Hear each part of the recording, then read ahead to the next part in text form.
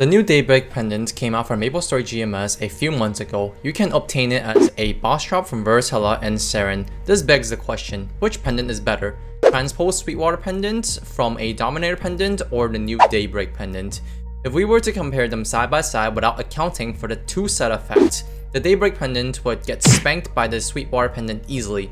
However, once we account for the 2 stat effect of the 10 magic attack and weapon attack, all stats along with the 10% boss damage, things become a bit trickier. We already know that unless you are running a Source of Suffering for a pitch boss set, your second pendant slot is going to be filled with either a Daybreak pendant or a Sweetwater pendant. Either one of those will be paired with a superior engraved Gollux pendant. Unfortunately, running two superior Gollux pendants puts you at a pretty big disadvantage towards the endgame because of the weaker flame, potential, and star force stats. That said, if you're mid-game and don't intend to be endgame above 60k stats anytime soon, two superior Gollux pendants might not be so bad since you can always just sell off one of them down the line very easily.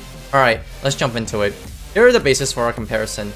Both will have the same flame, since both Dominator and Daybreak are level 140 items, therefore the flames will cancel each other out. And before you ask, yes, after transposing you don't get extra stats on your flame. It only seems that way. But that fake gain in flame stat means you lose the Star Force or scrolling stats. Dominator will be scrolled with Arc Scrolls, which give 3 all stats and 3 attack and magic attack. Daybreak Pendants will be scrolled with Premium Attack Scrolls, which give 4 attack each usually. A 22 star Daybreak Pendant has a total of 111 stats stats, 103 stat from the Star Forcing, and 8 stats clean, 108 attack, 78 attack from Star Forcing, 2 attack clean, 28 attack more from the 7 slot scrolling. In addition, from the 2 boss sets, you get 10 all stat, 10 attack, slash magic attack, and 10% boss, totaling to 121 stat, 118 attack, and 10% boss. In contrast, a 22-star Transpose Sweetwater Pendant has 195 stat, 161 stat from scrolling and star forcing, plus 34 stat clean, 121 attack from scrolling and star forcing, but don't forget, since the Sweetwater is level 160,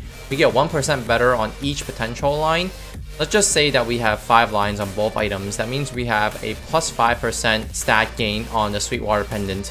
Based on this calculator from my stats, left side being the Sweetwater and the right side being the Daybreak, we see that the Sweetwater pendant is ever so slightly better than the Daybreak pendant. Does that mean we should go for the Sweetwater pendant? Maybe.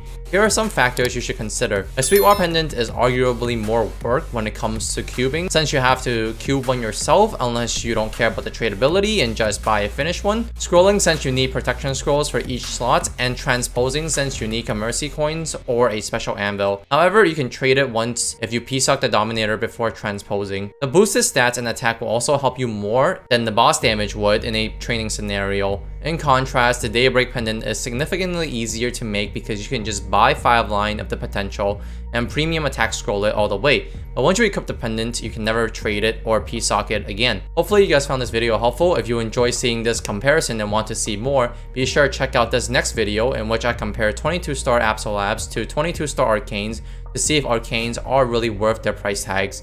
Special thanks to M for Murder for supporting this channel. If you want to support my videos as well, be sure to hit that join button down below and I'll talk to you all in the next video.